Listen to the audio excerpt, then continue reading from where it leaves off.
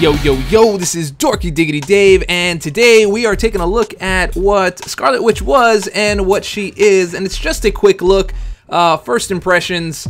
Let's check out what's going on here, and uh, just off the bat, it looks like the block proficiency has really taken a hit, and parry is really allowing for a lot more damage to come through on blocks, and so that's going to create a problem uh, moving forward. So, as you can see on the left, we have our beloved Before Witch, and on the right, we have a witch that just got pounded by uh, Winter Soldier's L2, uh, mostly because I didn't see that coming. I had no idea what that looked like. I just jumped right in here for the comparison. So, just off of what I can figure, this looks like it's going to be a matter of baiting out his L1 and trying to stay away from the L2 as uh, I haven't figured out how to evade that fully just as yet. But uh, when I do, you better believe there will be a video about that.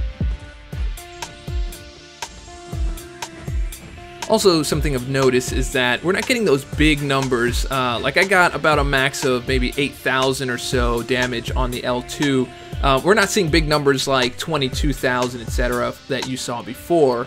Um, you know, as you saw right there, 32,000 on that particular attack on the left on before.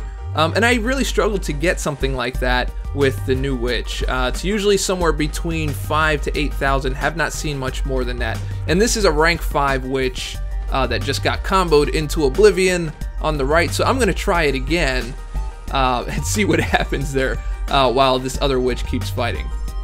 Now, as you can see, those those parries are taking a lot of hits. So it looks like Realm of Legends has taken on a whole new uh, challenge here in that you can't even parry your way through. You're going to take a lot of damage. Also notice here, the stuns don't last anywhere near as long. It's enough for you to get off another combo, so that's still pretty good, uh, but nowhere near what it used to be. Uh, and as you can see, the comparison in terms of damage on before and after is is really a lot. It's not, we're not talking about, you know, a 20% debuff here. We're talking about a good 60, 70% damage reduction over here. So I'm not saying that she's down and out completely, but she is very, very, very different. Uh, so I'm going to take a look to see if there is a particular strategy that we can use to uh, make her better. But uh, right now she is nowhere near as good as she used to be, in my opinion. Uh, so she is starting to feel like rank down material, but there's still a couple tests I'd like to run, and then I will reassess. But uh, enjoy the rest of the video.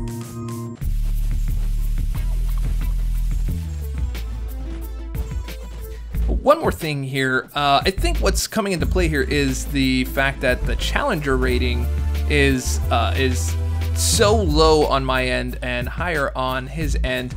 And I think that's causing a lot of that damage that's coming in on those parries because as you can see, now that I'm down to just the last bit of health, I can really only take maybe two or three parries and that's about it.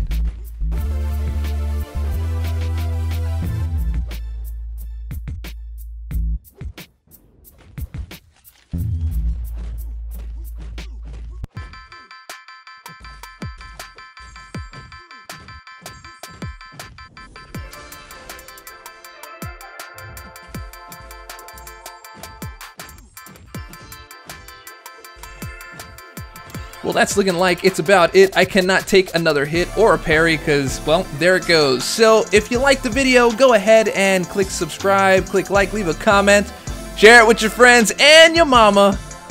And remember, stay dorky and I'll catch y'all on the flip.